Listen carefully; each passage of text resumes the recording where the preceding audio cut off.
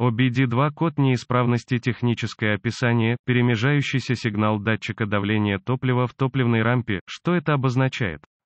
Этот общий код неисправности трансмиссии двигателя, как правило, применяется к большинству двигателей с впрыском топлива, как бензиновых, так и дизельных. Начиная с 2000 года, код применяется ко всем производителям, таким как Volvo, Ford, GMS, VW и так далее. Этот код строго касается того, что поступающий сигнал от датчика давления в топливной рампе FRP не соответствует тому, что подается на двигатель. Это может быть механическая или электрическая неисправность, в зависимости от производителя производителя автомобиля, типа топлива и топливной системы.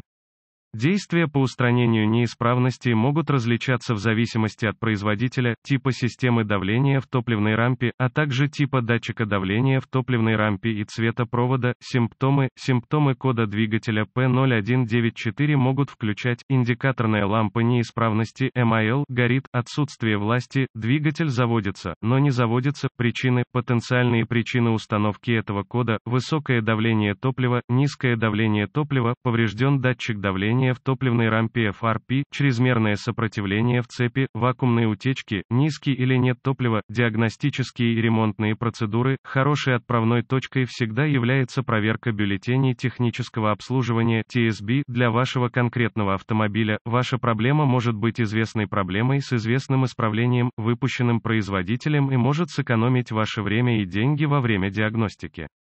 Кроме того, с этим конкретным кодом убедитесь, что у вас нет кодов, связанных с топливным насосом, давлением топлива, если у вас есть какие-либо другие коды, указывающие на проблему, связанную с топливным насосом. Сначала выполните диагностику этого кода и не обращайте внимания на код P0194. Затем найдите датчик давления в топливной рампе на конкретном автомобиле. Это может выглядеть примерно так. После обнаружения визуально осмотрите разъемы и проводку, ищите потертости, растирание, оголенные провода, ожоги или расплавленный пластик. Разъедините разъемы и тщательно осмотрите клеммы, металлические детали внутри разъемов. Посмотрите, выглядят ли они корродированными, жаженными или, возможно, зеленого цвета по сравнению с обычным металлическим цветом, который вы, вероятно, привыкли видеть очередь, вы можете получить очиститель электрических контактов в любом магазине запчастей, если требуется очистка клемм, если это невозможно, найдите 91% спирта и легкую пластиковую щетку для чистки.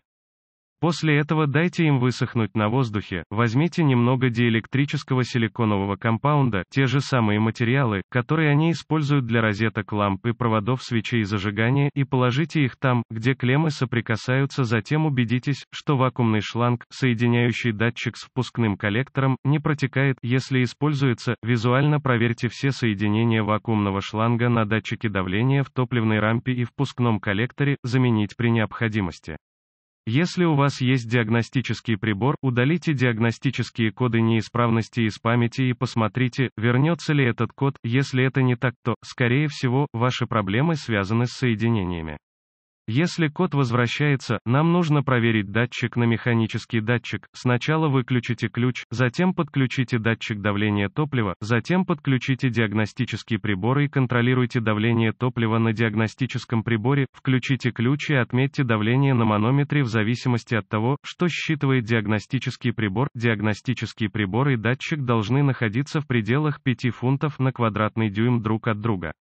Если все тесты пройдены до сих пор, и вы продолжаете получать код P0194, последнее, что нужно проверить, это соединение в PSM, разъедините разъемы и тщательно осмотрите клеммы, металлические детали внутри разъемов, посмотрите, выглядят ли они корродированными, жаженными или, возможно, зеленого цвета по сравнению с обычным металлическим цветом, который вы, вероятно, привыкли видеть, перемешайте все соединения на датчике, RSM и любом другом связанном разъеме, чтобы проверить проверить, нет ли ослабления, и найти причину неустойчивого состояния. Если все тесты пройдены и вы все еще получаете код P0194, это, скорее всего, указывает на сбой PSM, рекомендуется сделать полный сброс от соединения аккумулятора, прежде чем можно будет оправдать любую замену PSM, датчик FRP, возможно, придется заменить также. Внимание! На дизельных двигателях с топливной системой Common Rail, если есть подозрение на датчик давления в топливной рампе, вам может потребоваться, чтобы профессиональный техник установил датчик для вас. Этот датчик может быть установлен отдельно или он может быть частью топливной рампы. В любом случае давление в топливной рампе этих дизельных двигателей на холостом ходу обычно составляет не менее 2000 фунтов на квадратный дюйм, а под нагрузкой может значительно превышать 35 тысяч фунтов на квадратный дюйм. При неправильной герметизации это давление топлива может разрезать кожу, а в дизельном топливе есть бактерии, которые могут вызвать заражение крови.